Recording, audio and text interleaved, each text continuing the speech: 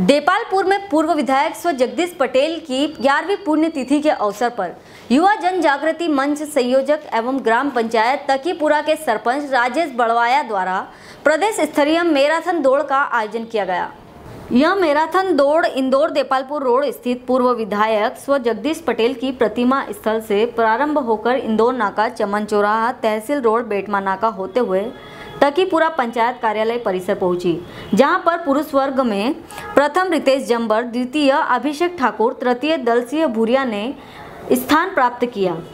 वहीं महिला वर्ग में प्रथम रेशमा गोड़, द्वितीय रमा यादव, तृतीय लक्ष्मी वास्केल ने स्थान हासिल किया।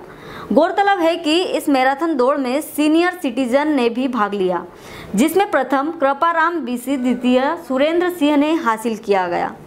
देपालपुर से विशाल की रिपोर्ट। हमने देपालपुर युवा जन जागृति मंच के नाम से एक सामाजिक संस्था का गठन किया, जिसमें बीच बीच में आपको देखा ही है कि हमने युवाओं के लिए कार्यक्रम किया है। तो वही प्रेरणा हम सतत करते आ रहे हैं।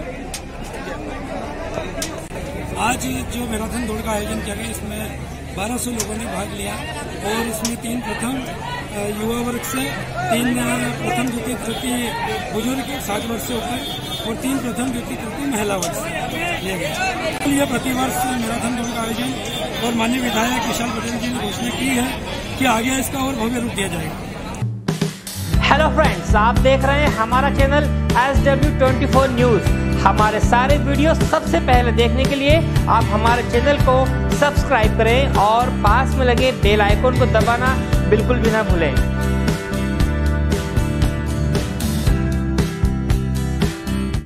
केंद्र सरकार के खिलाफ